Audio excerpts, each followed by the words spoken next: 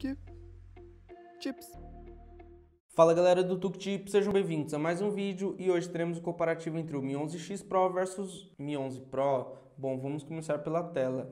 No Mi 11X Pro a gente tem uma tela AMOLED de 6.67 polegadas com proporção 20 por 9, resolução Full HD Plus 1080 por 2400 pixels e uma densidade de 386 pixels por polegada.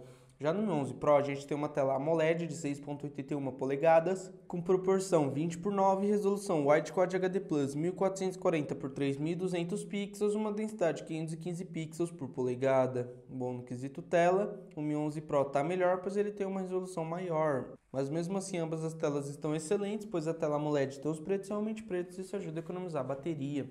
Agora no hardware, o Mi 11X Pro tem um processador da Qualcomm Snapdragon 888 com 8 GB de memória RAM, 128 ou 256 GB de armazenamento interno e atinge até 821 mil pontos no AnTuTu Benchmark.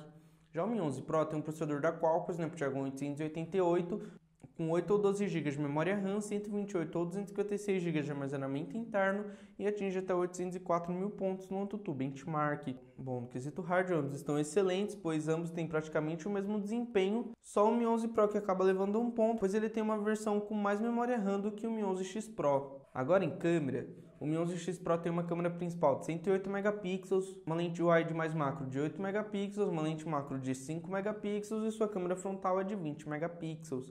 Já o Mi 11 Pro tem uma câmera principal de 50 megapixels, uma lente grande angular de 13 megapixels, uma lente de telefoto mais macro de 8 megapixels e sua câmera frontal é de 20 megapixels.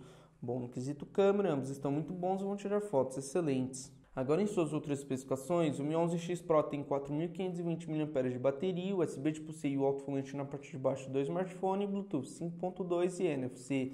Já o Mi 11 Pro tem 5.000 mAh de bateria, USB tipo C e o alto-falante na parte de baixo do smartphone, Bluetooth 5.2 e NFC. Bom, no quesito conectividade, ambos estão praticamente idênticos, mas em bateria o Mi 11 Pro acaba levando a melhor, pois ele tem praticamente 500 mAh a mais, que isso vai te garantir mais tempo de uso durante o dia com uma carga completa. Bom, esse foi o comparativo Espero que vocês tenham gostado. Se gostaram, deixa o like, se inscreve no canal e até o próximo vídeo.